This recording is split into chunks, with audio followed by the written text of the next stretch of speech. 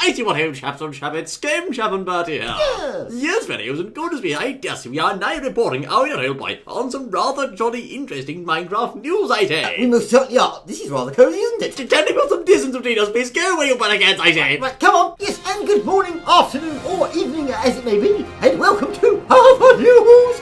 Well, Mr. Notch is all I can say. Mr. Notch, old boy. Oh yes, as we know, Mr. Notch has not really said anything at all about Minecraft very long time, or had any real involvement.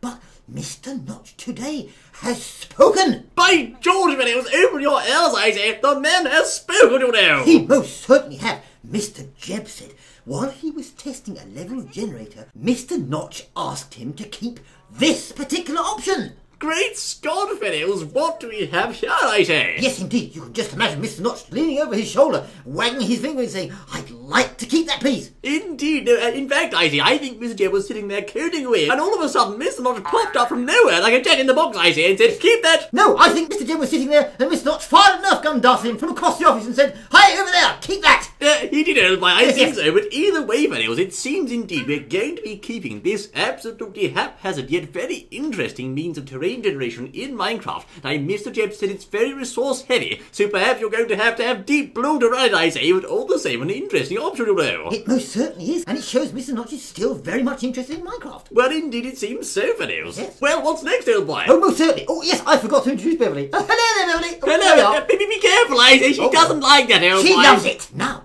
Mr. Jeb was asked, are these new flowers purely decorative? And you know what he said? What? Yes, Uh, yes. that's it. Indeed, videos. You'll see, you may recall the pink peonies from last Jolly News update, I see. However, he has confirmed these flowers, for now, I Yes. say, at least, are purely decorative. In the future, there might be some functional purpose added, but at the moment, as it stands, they're for your gardens. And I also, apparently, you can indeed farm these new flowers by using bone meal in the certain specific new biome in which they'll appear, you see. Aha, so slap some bone meal down and you'll get special plants in the special biomes. Indeed, bone meal the ah. grass, I say, and away you shall go, you know. Oh, wonderful. Well, yes, indeed. Talking about flowers again. Mr. Jeb said he has a big question for everybody, and that is, should he separate flowers from flowering plants? What? Uh, uh, do you know what that means, Beverly?